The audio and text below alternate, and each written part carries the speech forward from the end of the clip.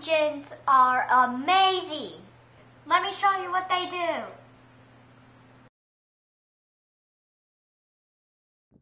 This cotton's ready to be harvested. Then they'll take it to the gin to take out the seeds.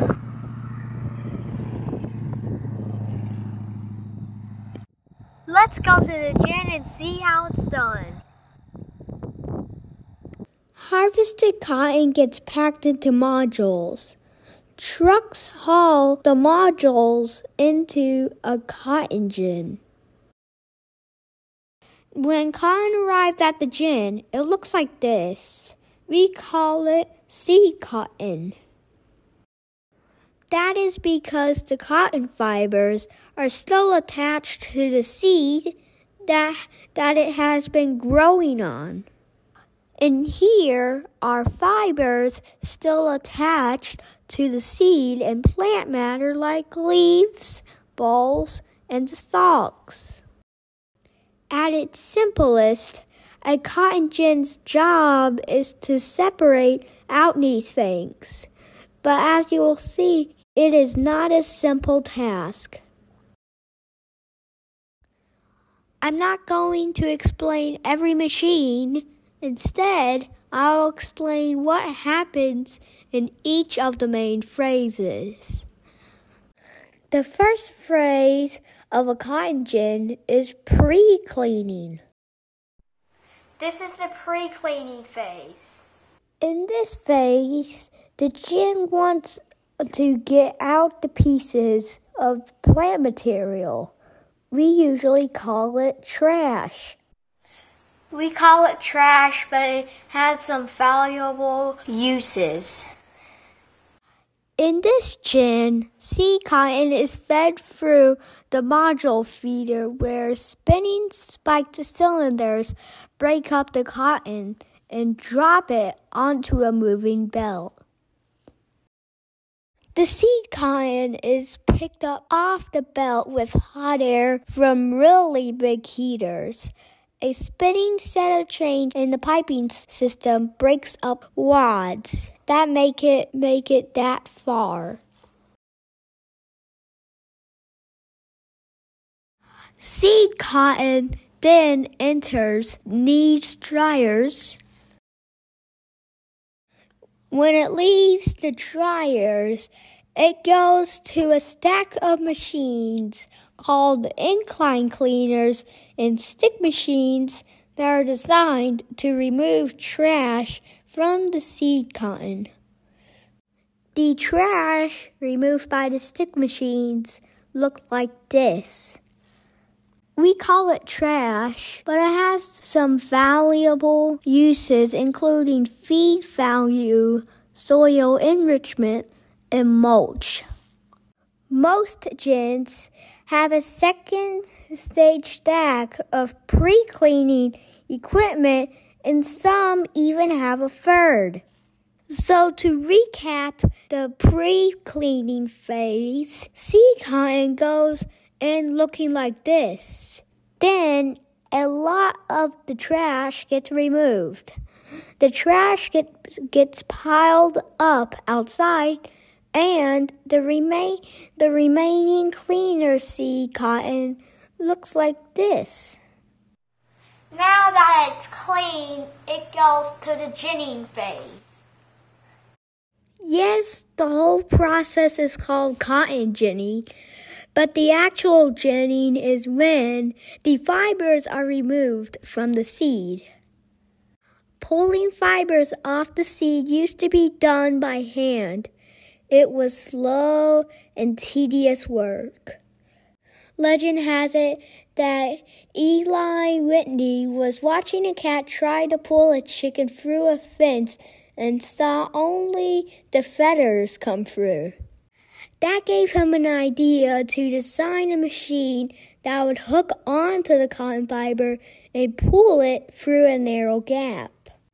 The fiber fit through the gap, but the seed would not. So, bam! The cotton gin was invented. The operating principle remains the same today, But instead of small hand cranked gins, these big motor gins make quick work separating fibers from the seed. Cleaned seed cotton is fed into the gin stand here.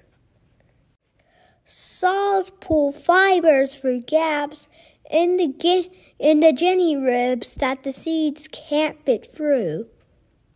The seeds fall out the bottom of the stand and get moved to a seed house for storage.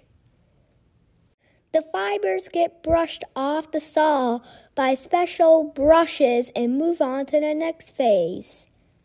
A recap of the ginning phase. Seed cotton goes in, the fibers and the seed get separated, and each go their separate ways.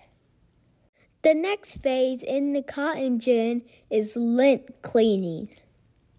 When the fibers, also called lint, leave the gin stand, it includes lots of good high quality fiber with small bits of trash and something called motes. Motes are fibers attached to small, broken, or immature seeds. If motes or too much trash are left in, in and end up in the final bale, the cotton grade will be lower and the price it sells for will be less. To keep the quality where the bale will have the most value, gins use lint cleaners to remove more trash and motes. Lint cleaners remove the motes and some of the trash and send what was removed into mote bales. The cleaned fiber is sent to the bale packaging phase. Cleaned lint goes down a slide into the bale press. Strong motors and hydraulics uh, press the lint into a neat rectangular bale. A machine automatically puts straps around the bale. Another machine automatically puts a bag on the bale. Cotton bales usually weigh around 500 pounds. The bales get loaded onto a truck. They go to warehouses and eventually get shipped to mills where they get turned into cotton yarn.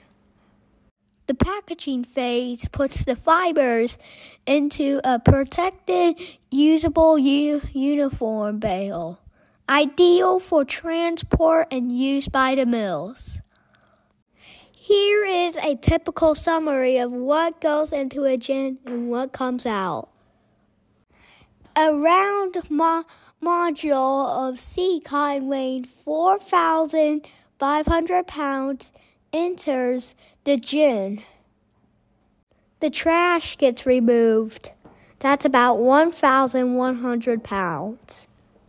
The seed gets removed. That's about 1,800 pounds. The motes get removed. That's about 50 pounds. And three bales of lint are, are produced at about 1,550 pounds.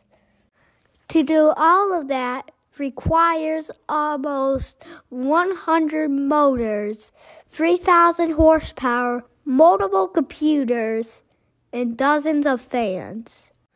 Massive hydraulic systems, conveyors, augers, bearings, motor controls, PLCs, sensors, miles of electric wire.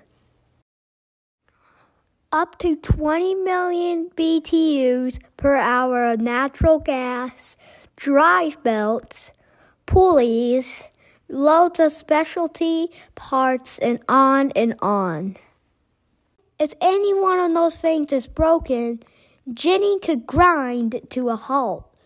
If things are misadjusted, the gin will operate less efficiently and the crop value may suffer.